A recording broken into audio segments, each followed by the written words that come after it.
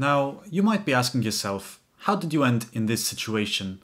You wanted to watch something that had to do with Python, and you're watching a monkey who is stretching in nature. Well, it's not that irrelevant, and I promise that this has a lot to do with what we're about to learn, because the topic that we're going to be covering today is called monkey patching. And it's an interesting technique in Python. Some will call it interesting, some will call it disgusting, but it has to do with changing the functionality of modules at runtime. And a benefit of doing this is if you want to create some tests for modules that rely on external sources of data, such as an API, you might want to create some fake data to make sure that your tests run consistently. Because if you continuously get random data, you will never know where your test is going to fail. So with monkey patching, we can go ahead and actually edit the module directly at runtime in Python. So let's go ahead and see how this works in practice. Now to make this actually work, we're going to go ahead and create a new module. So here we'll go ahead and type in Python file and we'll go ahead and say module, or actually I wanted this to be called sample module. So sample module.py and this will be our sample module. And we need to go ahead and import requests, which I already have installed. But we're going to be using this to make an API request. And I'm going to go ahead and paste in the function I had from earlier, since this is not the purpose of the video. We have a function that says get data, and I have a lot of squiggly lines. So we have a function that says get data and it creates a request and it's going to get some placeholder JSON from this API. Now we're lucky here because this placeholder is always going to be the same. So for testing, it wouldn't really be a problem. But in other situations, if we try to go ahead and call get data, it's always going to make the API request and we never know what kind of data it's going to return to us. So the best case scenario for testing is that we get a reliable response that we can check for mistakes in case our tests fail. Of course, you can make a test that checks for random input, but that wouldn't be too consistent with our testing. So right now, if we want to use this function in our main file, we have to go ahead and import the sample module. Then we can go ahead and check if name is equal to main. And here we can go ahead and say sample module.getData. And right before we run this, we need to print it since it returns data.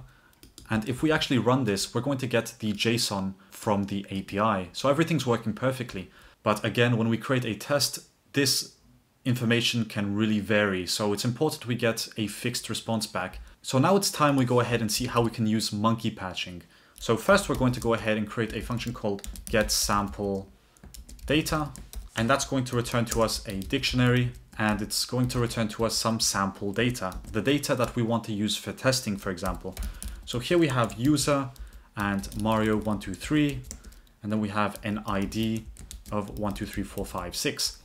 Now forget that this is not the same format as the previous JSON. This is just to show you that we're going to get a standard response back from our function. So now we have some sample data that we can test with to see if certain parts of our program function correctly. But what does this have to do with the monkey patching?